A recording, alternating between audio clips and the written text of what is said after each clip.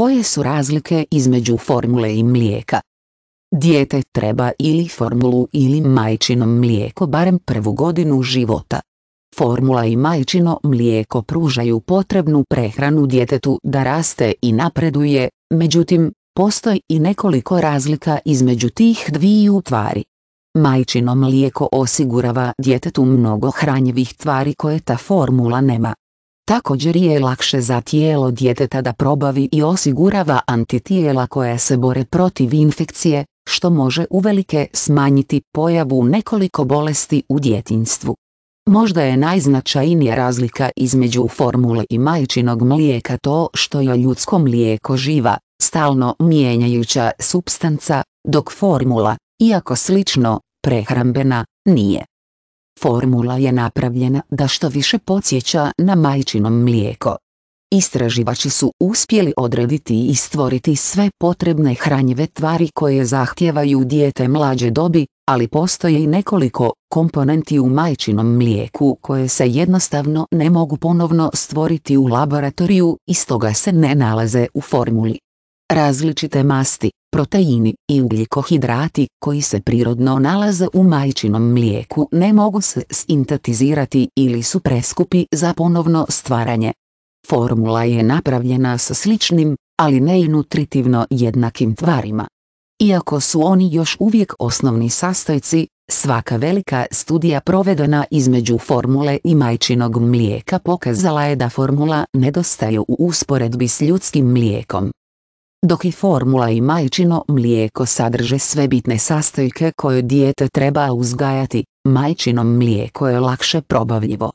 Formula, čovjek made proizvod, često uključuje mnogo više različitih vitamina, minerala i proteina potrebnih za razvoj kako bi se osiguralo da dijete apsorbira sve hranjive tvari koje on ili ona treba. To znači da formula probavlja puno sporije od majčinog mlijeka, ostavljajući tako višak otpada i na prezanje bubrega i probavnog trakta. Ova razlika između formule i majčinog mlijeka je najizraženija kod nedonošćadi i beba rođenih s probavnim problemima. Majčino mlijeko prirodno sadrži živa antitijela koja štite dijete od bolesti poput respiratornog sinicicijalnog virusa, RSV, infekcije uha i meningitisa.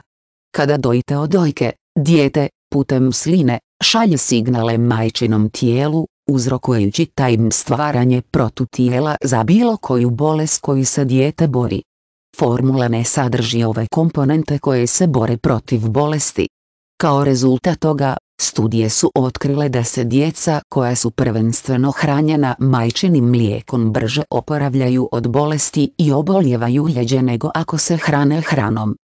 Dokle god roditelji ne mijenjaju brandove formule, dijete koje se hrani formulom dobiva iste hranjive tvari na svakoj hrani dok se ne uvedu krute tvari.